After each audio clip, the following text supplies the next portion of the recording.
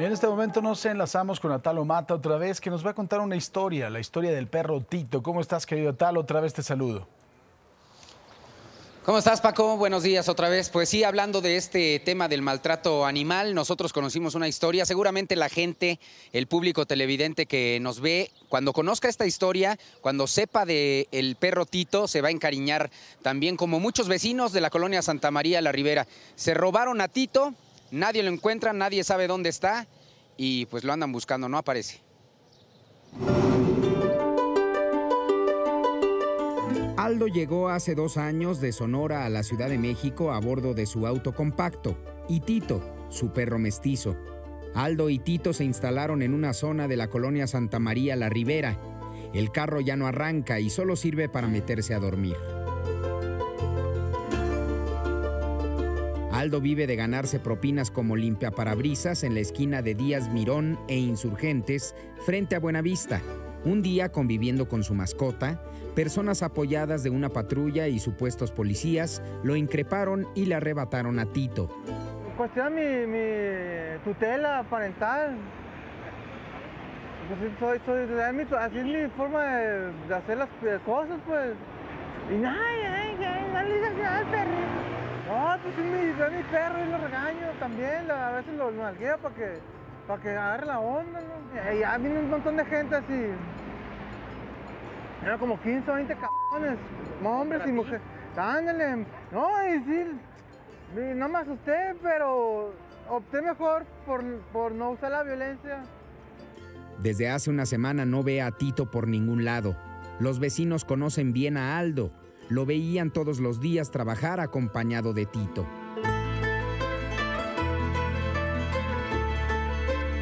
pero él lo baña porque lo hemos visto. Eh, el perro tiene carriola, cuando llueve lo protege con impermeables, tiene ropa y no le da de comer sobras, le da croquetas y sobres húmedos y en platos. Y tiene también pues documentos médicos, lo lleva al doctor, El suceso ha resonado tanto que vecinos se sumaron estampando su firma en esta cartulina.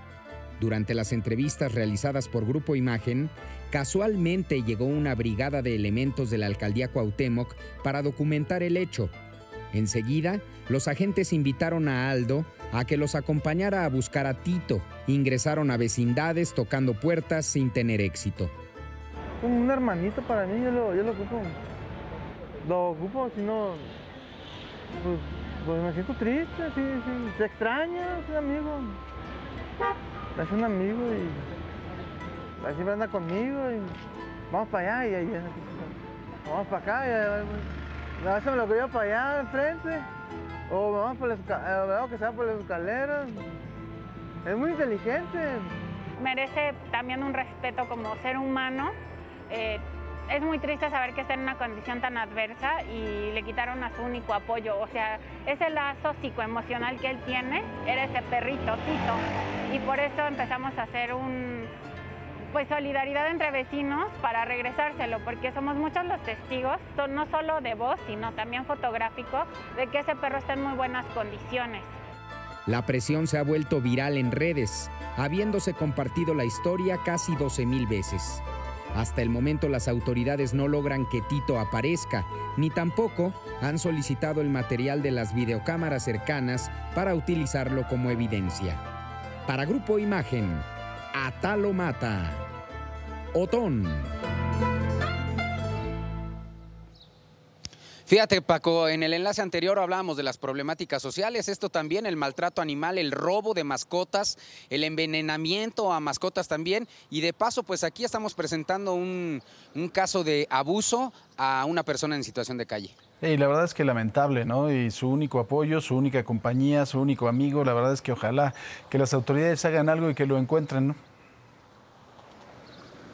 Sí, porque ese día que estábamos grabando, y lo decíamos ahí en la nota, llegaron elementos de la alcaldía Cuauhtémoc, quizá únicamente para eh, hacer presencia, aparentar que estaban haciendo algo, pero pues el perro Tito sigue desaparecido.